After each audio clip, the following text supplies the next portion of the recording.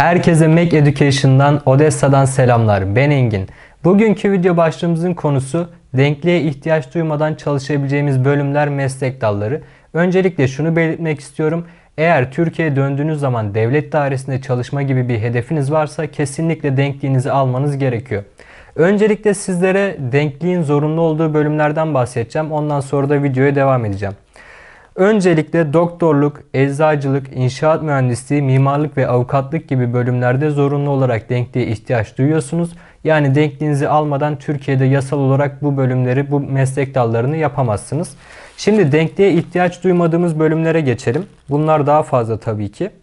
Uçak mühendisliği, elektrik elektronik mühendisliği, makine mühendisliği, mütercim tercümanlık, ekonomi, pilotluk, işletme, nükleer mühendislik, gemi kaptanlığı, yatırım uzmanlığı, uluslararası ticaret, gemi mühendisliği, havacılık ve uzay bilimleri, bilgisayar mühendisliği, siber güvenlik ve yazılım mühendisliği gibi bölümler mevcut. Bu bölümler genelde özel sektörü ilgilendirdiği ve özel sektörde personel verimliliğine dikkat ettikleri için bu sektörlerde daha kolay iş bulabiliyorsunuz. Yani denkliğinizi almadan da bu sektörlerde iş bularak çalışabilirsiniz.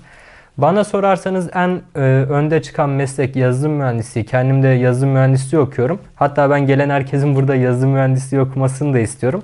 Yani Ukrayna'da yeni mezun olmuş bir junior developer 1000 dolardan e, işe başlayabiliyor Ukrayna'da. Bu gerçekten mükemmel. Türkiye'de şu an yaklaşık 8000 Türk lirasına falan tekabül ediyor. Yani bu paraya e, iş bulmanız imkansız. Ama Ukrayna'da bir yazılımcı açığı var. Bunu da kullanabilirsiniz artı olarak. Eğer hala okumak istediğiniz bölüme karar veremediyseniz WhatsApp hattımızdan bana ulaşabilir ve benimle sohbet edebilirsiniz.